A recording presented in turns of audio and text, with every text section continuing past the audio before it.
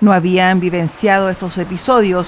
Por eso la preocupación es parte de la rutina laboral que inician desde muy temprano los conductores de la locomoción colectiva mayor. Asalto a mano armada fue el reciente acto delictual que afectó el servicio San Antonio Las Cruces a plena luz del día. Miguel Montes, presidente de la Federación Locomoción Colectiva Mayor, indicó que este último asalto incluyó también a los pasajeros. Esto ya van cuatro veces, cuatro veces que se ha producido esta situación de asalto a la locomoción colectiva mayor acá en San Antonio.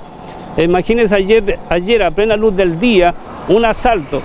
Asaltan al conductor y, más eh, se suma a los, a los pasajeros, a los usuarios, quitándole sus pertenencias. Entonces eso ya es, es, demasiado. Montes indica que ha recibido también llamados de las juntas de vecinos de ciertos sectores que han visto disminuido la frecuencia de los taxibuses. Y la razón, según el presidente de esta federación, es que efectivamente ya algunos conductores prefieren trabajar menos horas con el objetivo de resguardar su integridad. Meses atrás tuvimos un problema nosotros también en, el recorrido Santa Elisa, cerca de Capellanía, un conductor también fue asaltado. En el interior del sector de las cruces también tuvimos dos personas que fueron asaltadas de la locomoción colectiva mayor. Nosotros lo hemos planteado a las autoridades, a carabineros, al, a la gobernadora acá también, a la delegada, a la delegada eh, regional, comunal de acá de la zona.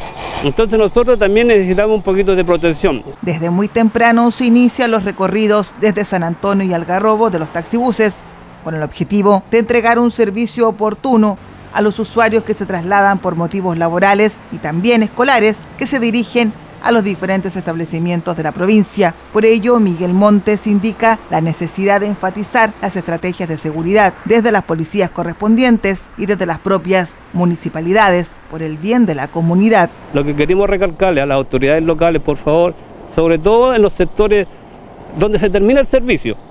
Nosotros eh, tenemos servicios desde Santo Domingo hasta el Garrobo, eh, Las Cruces, Cartagena, ojalá en los sectores que, donde termina el servicio los conductores quedan desocupados. Entonces ahí es donde hacen la suya los delincuentes. las garitas, los terminales. Correcto, en las garitas, los terminales, cuando ahí necesitamos que en las tardes, ahora, ahora vamos a tener un cambio de, de horario, pero igual les pido por favor a la autoridad de los carabineros que se dé una huertecita cuando ya se esté oscureciendo. Montes comentó que se están preparando para la jornada del plebiscito del 4 de septiembre, con el objetivo de facilitar una buena frecuencia a los usuarios y también para los próximos días de celebración de fiestas patrias, días en que se espera contar con mayor resguardo policial por el inminente aumento de población flotante.